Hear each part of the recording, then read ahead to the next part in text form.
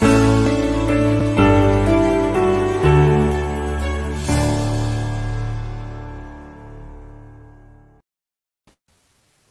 saludo muy especial para todas las personas que a esta hora se conectan con nosotros a través de la revista de Medicina y Salud Pública y a través de la revista de Salud y Cardiología. El día de hoy vamos a tratar un tema muy importante y es la obesidad y la hipertensión en el sistema vascular, cómo realmente afecta al corazón estas afecciones, cómo podemos evitarlas, cuáles serían los tratamientos para combatirlas y para esto el día de hoy se encuentra con nosotros la doctora Marilyn Ríos, quien es cardióloga en Puerto Rico. Saludos doctora. Un saludo, un placer estar contigo.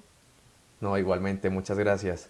Eh, primero que todo quisiera iniciar con una afirmación y es que en el mundo se estima que hay 1.280 millones de adultos entre los 30 a los 79 años con hipertensión. Según los cálculos, el 46% de los adultos que son hipertensos desconocen que padecen esta afección. Doctora, em, en este caso, primero pues quisiéramos saber cuál es la diferencia entre la hipertensión y la obesidad y si podríamos definirlo. Bueno, obviamente la hipertensión es la presión generada por la sangre en unos tubos, ¿verdad? Que son las arterias, que son los que llevan sangre con oxígeno a los tejidos. Así que la presión es esa presión generada en el circuito arterial. La presión se toma con un estetoscopio, ¿verdad? Con estigmomanómetro y un estetoscopio y fluctúa. La presión normal es ciento, por debajo de 120-80. Eh, desde el 2017, presiones de 130-80 se consideran un poco altas, ¿verdad? Y entonces, obviamente, la obesidad es el aumento de peso por encima de un peso normal, ¿verdad? Nosotros, eh, la métrica que se utiliza más frecuentemente es el índice de masa corporal. Y el índice de masa corporal tratamos de estandarizar un peso para una altura, ¿verdad? Así que es eh, kilos divididos por metros cuadrados. Eh, se supone que sea por debajo de 25, de 25 a 30 es sobrepeso, por encima de 30 pues ya es obesidad. Em, ¿Cuáles podrían ser las principales causas de la hipertensión? Pues mira, la hipertensión la llamamos el asesino silencioso porque no da síntomas, ¿verdad? Obviamente tú tienes que coger la presión para darte cuenta que está alto o no. Así que la mayoría de las personas no sienten nada. La primera manifestación de hipertensión podría ser un derrame, ¿verdad? Con unas consecuencias nefastas para el paciente.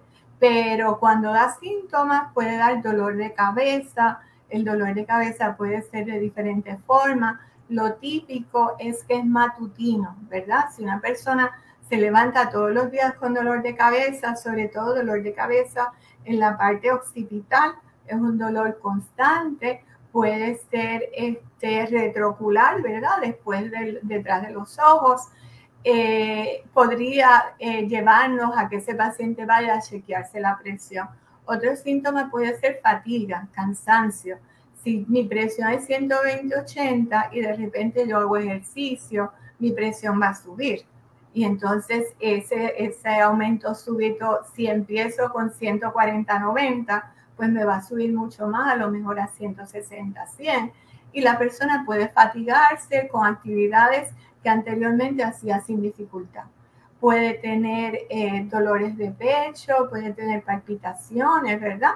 Pero en realidad, este, cuando llega ese, ese momento, nosotros hubiésemos preferido que se detectara la presión antes de que fuera sintomática.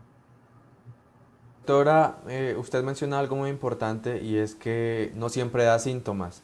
En este caso, pues usted menciona algunos, pero pues, ¿cómo podrían las personas saber que realmente padecen esto? ¿Cuáles serían las pruebas y los exámenes que se, realizarían para determinar que una persona tiene hipertensión? Bueno, esencialmente eh, utilizar un estigmomanómetro y tomarte la presión, ¿verdad? Todas las sociedades eh, médicas tienen diferentes guías de prevención para ver cuándo se van a empezar a tomar las medidas de presión. Y eso lo están haciendo los pediatras. Los pediatras ya están identificando si los niños, sobre todo los niños obesos, tienen hipertensión o no. Eh, a los 20, pues tenemos que saber cuál es nuestra presión y también saber otros números, ¿verdad? cuál es nuestro peso ideal, cuál es nuestro azúcar, cuál es nuestro colesterol, porque esas son condiciones que nos van a llevar en el futuro, ¿verdad? Son las condiciones más frecuentes que vemos, hipertensión, diabetes, hipercolesterolemia, ¿verdad? Así que desde esa edad lo debemos de ver. Si tu presión está bien a los 20, pues te chequeas a los 30. Si tú tienes un historial grande de hipertensión en tu familia, eh, y eso vamos a, una, la pregunta que me hiciste, que nos fuimos por la tangente y no dijimos la causa de hipertensión. Pero si tienes un familiar con hipertensión, pues posiblemente ese seguimiento debe de venir antes, ¿verdad? Porque el 95% de la hipertensión es verdaderamente hereditaria, ¿verdad? Es lo que nosotros llamamos hipertensión esencial. Eh, si mamá y papá tienen hipertensión, lo más probable es que tú lo vayas a desarrollar en un momento de tu vida. Entonces, hay un 5% de los pacientes hipertensos que tienen lo que se llama hipertensión secundaria.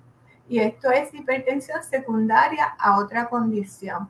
¿Cuáles son esas condiciones? Pueden ser verdaderamente, eh, nosotros los cardiólogos siempre buscamos a veces una enfermedad congénita que se llama coartación de la aorta, que da hipertensión por arriba del abdomen y presiones normales por debajo.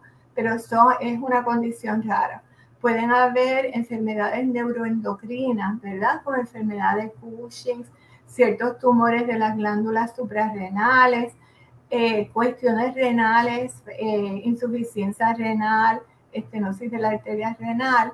Y una cosa sumamente importante es apnea del sueño. Y eso cada día lo estamos viendo más asociado a hipertensión. El apnea del sueño puede producir hipertensión y también puede producir lo que se llama hipertensión resistente. A veces nosotros tenemos pacientes que están en dos, tres, cuatro medicamentos para la presión y no logramos bajarlo a las metas, ¿verdad? Y si esa persona es obesa, tenemos que descartar que tenga apnea del sueño porque al tratar el apnea del sueño adecuadamente, ¿verdad? Con, con el CPAP y buena oxigenación nocturna, pues esa presión se controla muchas veces con uno o dos medicamentos, cuando anteriormente se nos hizo bien difícil tratarla. Pero esencialmente la causa de la hipertensión más frecuente es hipertensión esencial de un origen hereditario. Doctora, usted mencionaba algo muy importante y es que la mayoría de estos pacientes Em, realmente tienen que ver con un factor hereditario.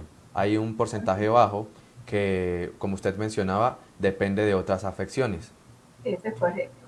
En este caso, antes de continuar con nuestra entrevista, quisiéramos invitar a todas las personas que ya esta nos están viendo para que hagan todas sus preguntas para que los podamos, la doctora nos pueda responder en este momento. Simplemente vamos a, a continuar y preguntándole ¿Cuál sería el tratamiento que debe recibir un paciente, un paciente hipertenso después de, de haber sido diagnosticado?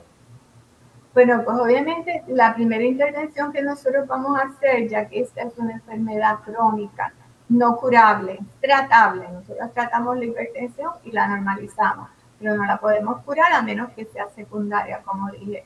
Pues son los cambios de estilos de vida. Ese paciente pues debe de bajar a su peso ideal, debe de instaurar una dieta bajita en sal, debe de hacer ejercicio, todo eso que queremos hacer a principios de año, ¿verdad? Y tenemos en nuestra lista de, de cosas que queremos hacer, tenemos que instaurar eso. Y entonces, obviamente, después, pues tenemos una serie de medicamentos que eh, hoy en día verdaderamente eh, tratamos de darle el medicamento al paciente de acuerdo a otras condiciones que pueda tener, ¿verdad? Pues tenemos como 6, 7 grupos de medicamentos. Ejemplo, si el paciente es diabético y tiene hipertensión, le vamos a dar un tipo de medicamento que son los inhibidores de ECA. Eh, si el paciente es afroamericano, que depende mucho de volumen, pues le vamos a dar un diurético. Y así por el estilo. Nosotros vamos a, en realidad, le vamos a dar al paciente el medicamento, el grupo de medicamentos ideal para tratar ambas condiciones. Doctora, en este caso, hablando principalmente de Puerto Rico, ¿cómo se encuentran las personas en cuanto a hipertensión? ¿Cuáles serían los porcentajes? Pues mira, verdaderamente la hipertensión nosotros sabemos que aumenta con la edad. ¿ok? Este, posiblemente el pico de la edad máxima de hipertensión pues después de los 60 años. Y teniendo en cuenta el envejecimiento de nuestra población, pues obviamente puedes entender que tenemos un gran número de pacientes hipertensos. En la población general, como 40% de la población en algún momento ha reportado hipertensión. Si nosotros cogemos las personas de 40 años en Puerto Rico, pues la prevalencia de hipertensión pues es como un 40%. Si cogemos los de 60, ya es un 65%. Y si cogemos los de 70, inclusive puede ser un poco más. Pero más o menos esa es la, la incidencia. ¿Y en el mundo cómo podríamos ver la incidencia de casos de hipertensión? Bueno, pues verdaderamente tú sabes que mundialmente, dice las estadísticas, ¿verdad? Este, la hipertensión está envuelta en, eh, bueno, según la Asociación Mundial del Corazón, es la enfermedad base de la mayor mortalidad a nivel mundial, ¿verdad? Eh, tanto como, ¿verdad? Aunque nos vamos a adelantar un poquito este, en relación a obesidad, pero la Asociación Mundial del Corazón tiene una campaña bien activa en contra de la obesidad. Casi 3 millones de personas mundialmente mueren por la obesidad. Si nosotros pensamos que 5.8 han muerto por COVID, ¿verdad? No restándole que COVID es una, una pandemia y es una cosa verdaderamente muy severa, pero la obesidad ha matado casi 3 millones, ¿verdad? Eh, y desgraciadamente es que los hábitos alimenticios, los hábitos de vida, el ser sedentario, no solamente afecta a los países desarrollados, ¿verdad? Hay países de África donde eh, la obesidad uno piensa que, que no tienen, eh, ¿verdad? Que, no tienen acceso a, a, una nutrición, ¿verdad? Pero sí tienen acceso, pero no a una nutrición adecuada y ve sitios como Sudáfrica que, que están reportando niveles de sobrepeso y obesidad alto. Perfecto, doctora. En este momento vamos a leer algunos comentarios y algunas preguntas que nos han hecho algunas personas en, en MSP. Y mm, nos preguntan, cuando la persona es hipertensa en tratamientos y los exámenes rutinarios le sale que la glicemia está un poco alta, ¿se considera una persona diabética? Bueno, lo que pasa es que para diagnosticar diabetes, la Asociación Americana de Diabetes ha establecido que si tú tienes un fasting, una, un azúcar en ayuna mayor de 126 en repetidas ocasiones, eso es diabetes. Que tú tengas una glicosilada mayor de 6.4, eso es diabetes. O que tengas un 2 hour mayor de 140. Así que no es que tú tengas la glicemia alta, un poco alta, sino que tienes que llegar a los parámetros para poder identificar diabetes o no. Eh, hay, una, hay un término que se llama impaired glucose, eh, fasting glucose, que es cuando tú tienes el azúcar en ayuna alta, pero tú no eres diabético, porque a lo mejor fue que te hiciste el azúcar, no esperaste 12 horas de ayuno, este, y te hiciste el azúcar después de haber comido muchos mucho carbohidratos el día anterior, y ahí puede ser con el azúcar un poco alta en la mañana pero tienes que identificar en realidad si tienes diabetes o no, y es por la definición que les di. Doctora, hace un momento usted ya estaba hablando eh, de temas de obesidad. Realmente es un factor muy importante y la gente lo ve como algo normal. Primero quisiéramos pues que definiéramos de alguna forma qué es la obesidad y si realmente podría ser hereditaria o es un factor que se, se va adquiriendo con el tiempo. Sí. Eh, bueno, la obesidad, el sobrepeso se identifica por el índice de masa corporal mayor de 25 y menos de 30. Y entonces la obesidad per se es después de 30. Si, es un, si hay un factor hereditario o es ambiental relacionado a los estilos de vida que tú adquieres de niño, pues verdaderamente hay una gran controversia, pero sí debe de haber un factor hereditario predisponente pero creemos que lo más importante en realidad son esos hábitos que se adquieren de niño, ¿verdad? En tu casa. El, exceso de, grasa en la, en la ingesta de comida, el exceso de carbohidratos también, el llamado combo extendido, ¿verdad? Que, que cada vez vemos que tienen más calorías, ¿verdad? Y la, la, falta de una alimentación sana, esos son factores que llevan más a la obesidad en el adulto. Y lo otro es pues obviamente la falta de ejercicio. Doctora, en este caso, ¿cómo eh, podría funcionar el corazón de, de, un paciente obeso? ¿Cómo ellos se sienten anímicamente? ¿Cómo se siente su cuerpo? Bueno, anímicamente no sé, pero te puedo decir en relación a la fisiopatología, ¿verdad? ¿Cómo funciona? Obviamente, si tú tienes un volumen más grande, pues tú, tú tienes que tener un volumen plasmático mayor para llevar sangre, ¿verdad? Con oxígeno a ese tejido excesivo. Así que tú vas a tener una sobrecarga de volumen del corazón y eso, este, pues, te puede llevar hipertensión. Pero no solamente eso, nosotros sabemos que el tejido graso crea un montón de, es un tejido que produce ciertos mediadores de inflamación, van a llevar a inflamación de los vasos sanguíneos, aumentando, eh, en realidad crea una cadena grandísima de, de, enzimas que llevan a tres cosas importantes. Te aumenta la presión, te aumenta el azúcar y te aumentan los lípidos eh, sanguíneos, ¿verdad? Que son pues predisponentes para que tú tengas enfermedades de las coronarias, que tengas un infarto, ¿verdad? Y todas esas complicaciones.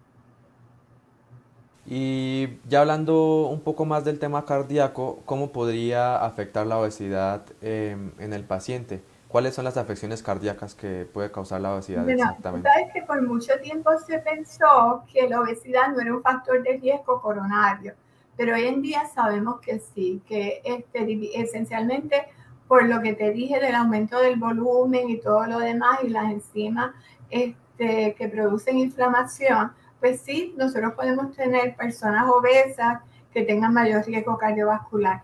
Pero además de eso, la obesidad te lleva a apnea de sueño, que es un factor de riesgo, te lleva a más diabetes, te lleva a más hipercolesterolemia, te lleva a aumento de los triglicéridos, que todo eso hace que, el riesgo de esa persona de tener un infarto, de tener un evento cardiovascular, pues es eh, eh, verdaderamente los riesgos cardiovasculares se multiplican exponencialmente, no se suman.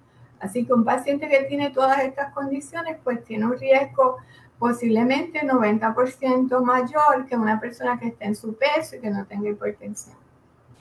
Doctor, hablábamos en un principio que la obesidad principalmente es hereditaria, pero ¿cómo podría la gente controlarla o cómo podría mm, llevarse como mayormente no es la hipertensión mayormente hereditaria, pero la obesidad puede haber una predisposición genética, pero yo creo que lo más importante en la obesidad es estos cambios que tú adquieres, ¿verdad? Formas de estilos de vida que tú adquieres en tu, en tu infancia, ¿verdad? Y en tu desarrollo, eh, que predisponen a que tú tengas obesidad en el futuro, ¿verdad? Porque si a ti de bebé te alimentan, te dicen que te tienes que comer todo lo que te sirven y te sirven una cantidad grande, pues obviamente eso es lo que tú, ese hábito tú lo vas a llevar el resto de tu vida, que en parte es un factor este, adquirido.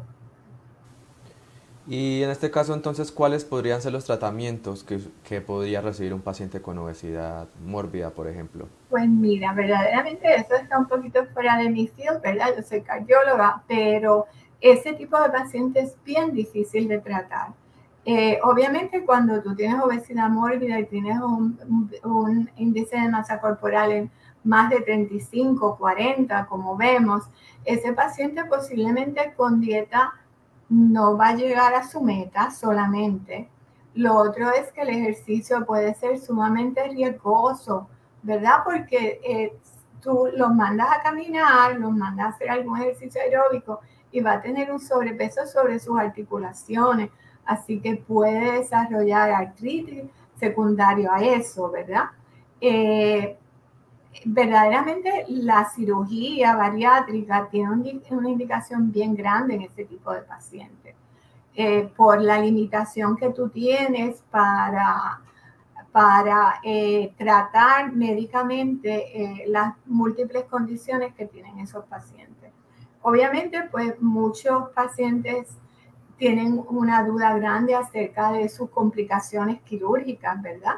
Pero yo creo que es un tipo de cirugía que se hace hoy en día con una mortalidad y morbilidad bajita en centros adecuados.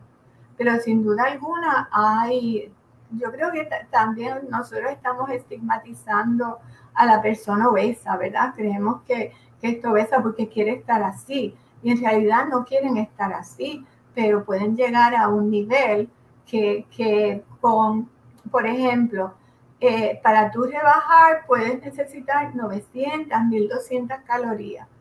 Esas son las calorías que tú utilizas con una vida sedentaria. Así que estas personas tienen una movilidad tan limitada que queman esas calorías con lo, aún comiendo poquito.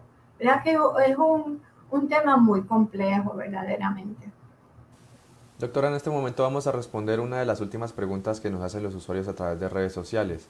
Y nos preguntan, quiero saber por qué la tensión arterial, la sistólica, constantemente se mantiene alta a pesar de tomar amlodipina. Amlodipina. Amlodipina. Pues mira, la presión eh, sistólica es la presión que ejerce el corazón cuando el corazón se contrae.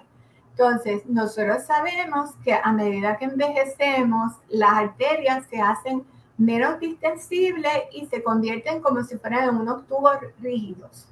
Por eso es que aumenta la presión sistólica a medida que envejecemos, ¿verdad? Se llama la hipertensión sistólica del envejeciente. Eh, amlodipina es un, eh, un, medicamento excelente para tratar ese tipo de hipertensión, pero obviamente hay que ver cuál es la dosis. Usualmente lo damos, si no responde una dosis adecuada, pues le llevamos a la dosis máxima. Y si no responde, pues entonces le añadimos diuréticos o le añadimos otro tipo de medicamento. Pero lo importante es que esa hipertensión sistólica eh, se asocia mucho con derrames, ¿verdad? Los derrames son complicaciones de la hipertensión, pero eh, es importante bajarla. Eh, quería hacer énfasis también que tanto la presión sistólica como la diastólica, las dos altas pues son peligrosas y las dos las debemos de bajar a los niveles normales. Para finalizar entonces, quisiéramos que usted nos diera recomendaciones en general, eh, usted como cardióloga, para dejarles a las personas que hasta ahora nos están viendo para cuidar su salud cardíaca, doctora.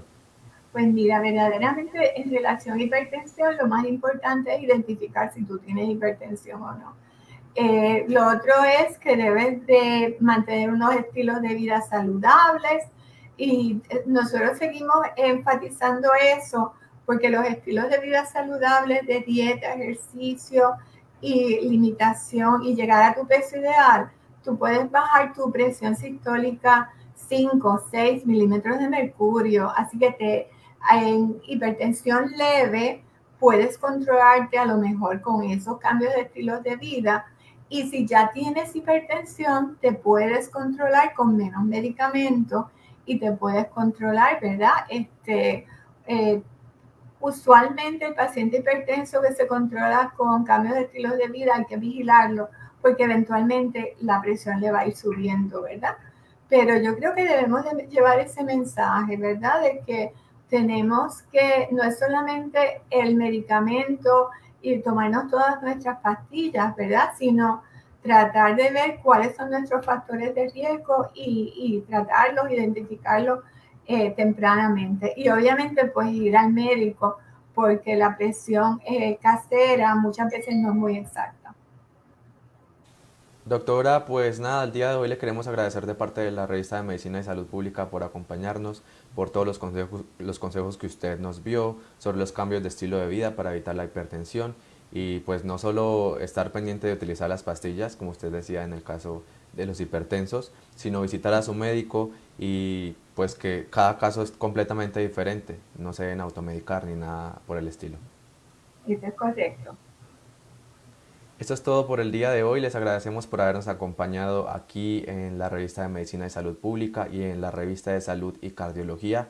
Recuerden, no debemos automedicarnos, mantener un estilo, un estilo de vida saludable, hacer ejercicio para evitar todas estas patologías. Es todo por el momento. Feliz día para todos.